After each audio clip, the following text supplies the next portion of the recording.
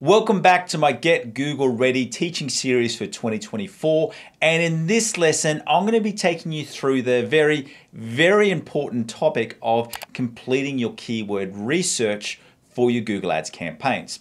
Now, keyword research is the process of where we go through and do a search to find the best keywords that we want to target for our Google Ads campaigns. And this is also the time where you look to go through and break out your keyword themes or your different products or services into different campaigns and ad group structures. Now, if you've been involved with Google Ads for more than two years, you will know that over the past two years, Google has been rolling out some significant changes and one of the most significant changes is the way that Google Ads has changed its match types.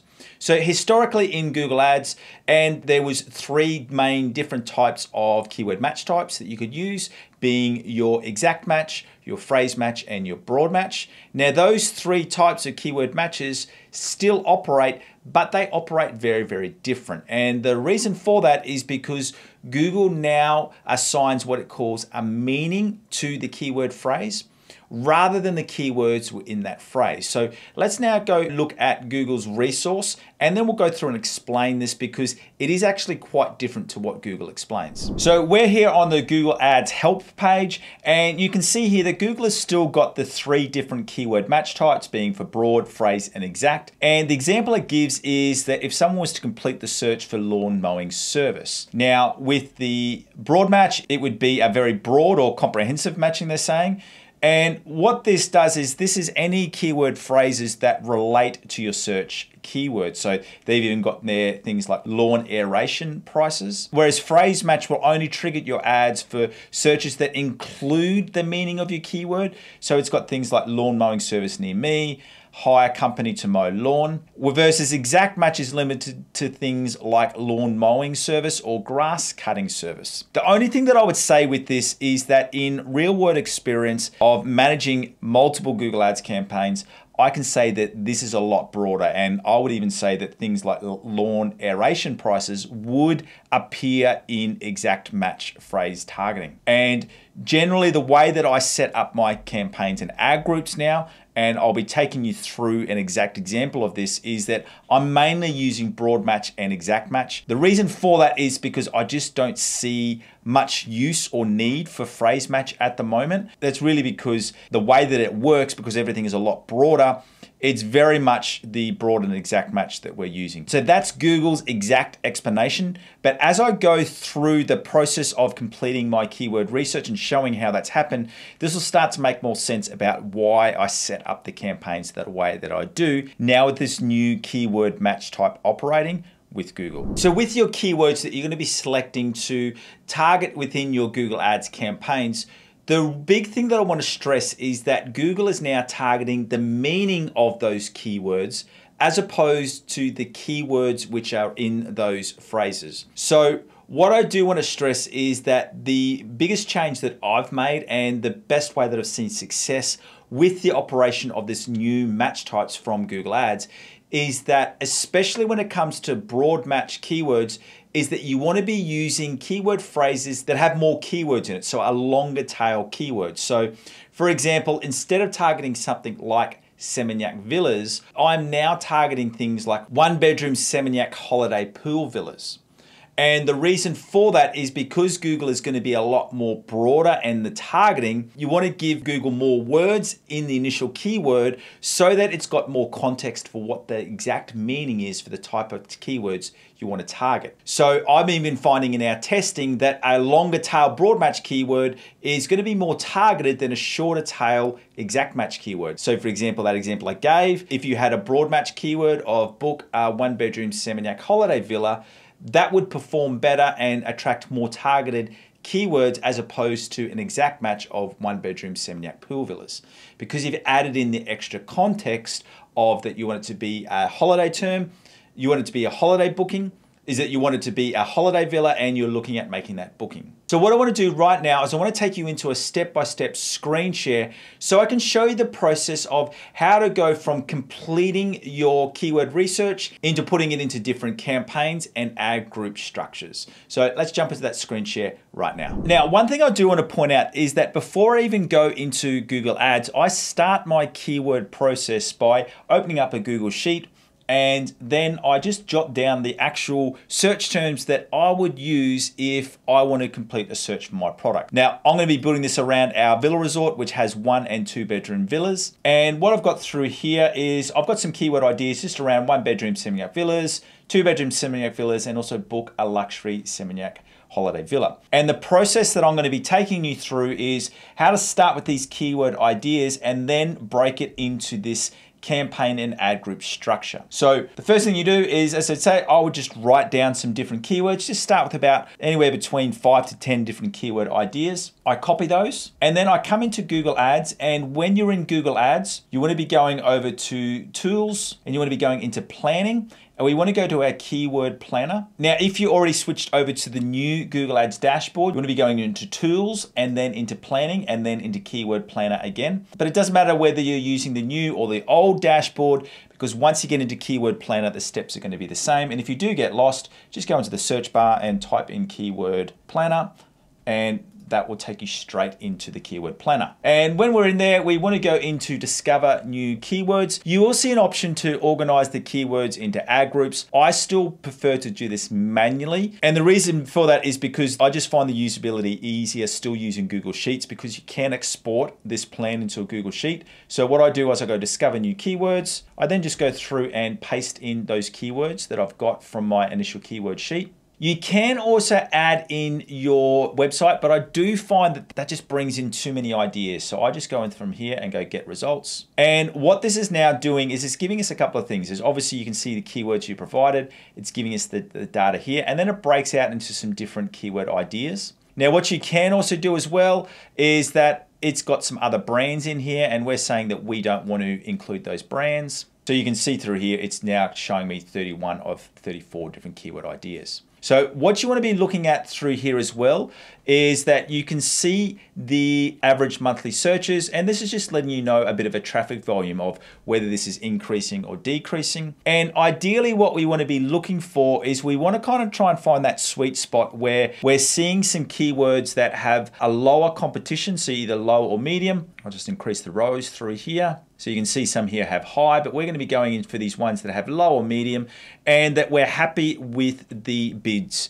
Now, what you do need to understand with this low range, the top of bid low range, that would be positions three and four, and the top of page would be position one.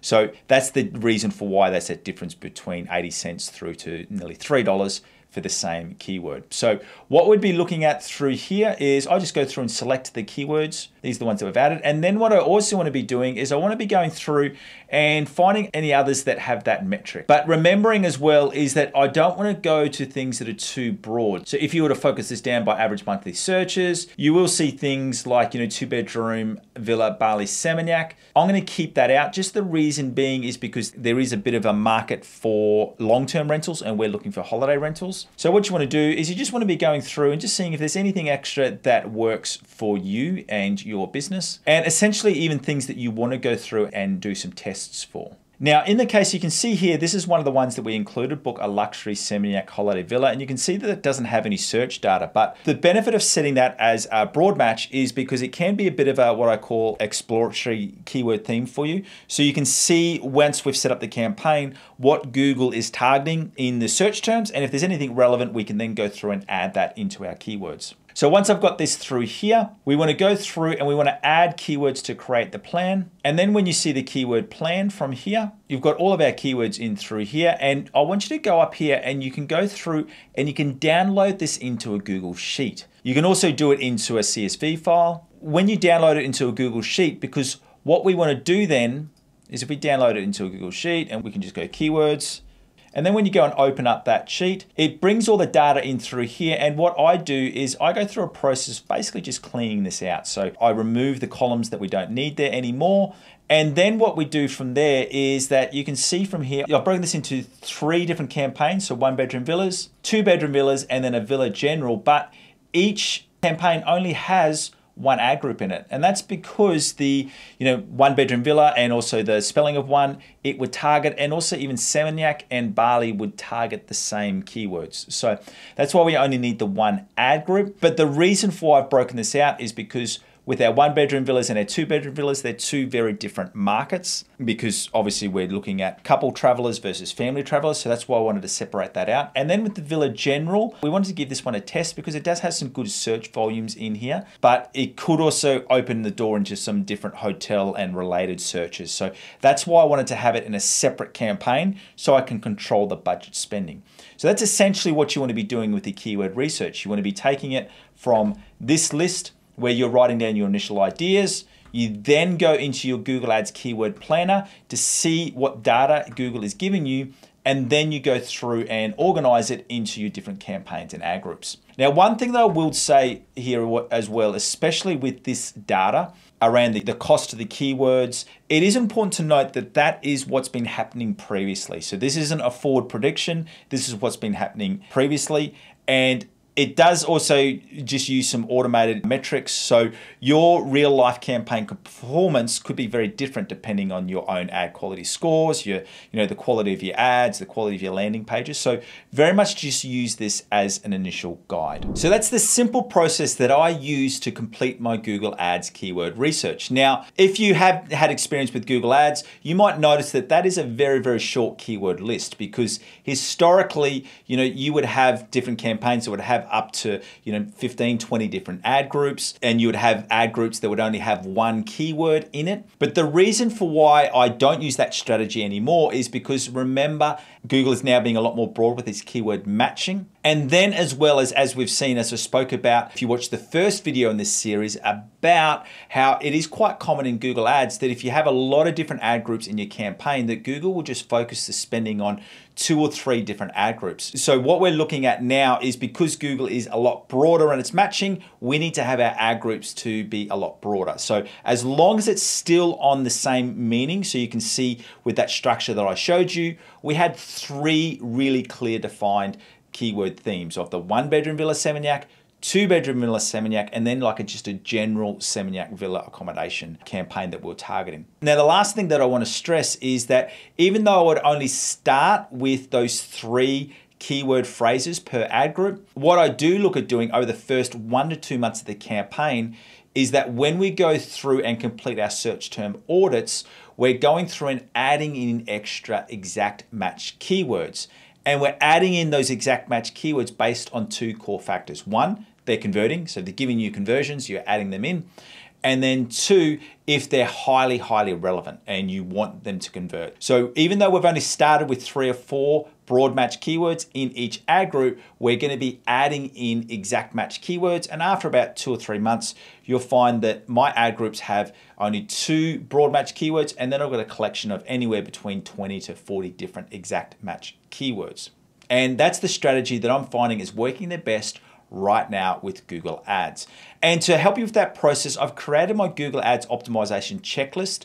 And this is the checklist which lets you know all of the different optimization actions that you need to complete, like those keyword search term audits. And if you'd like to get access to that, all you need to do is to follow that link in the description below and you can get free access to my Google Ads optimization checklists. So thank you for joining me. And as I said, this video is part of my Get Google Ready playlist.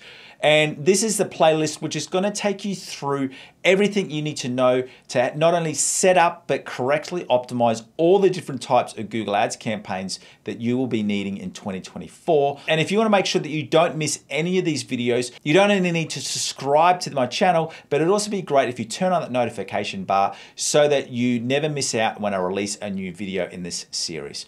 Once again, thank you for joining me and I look forward to seeing you next time. See ya.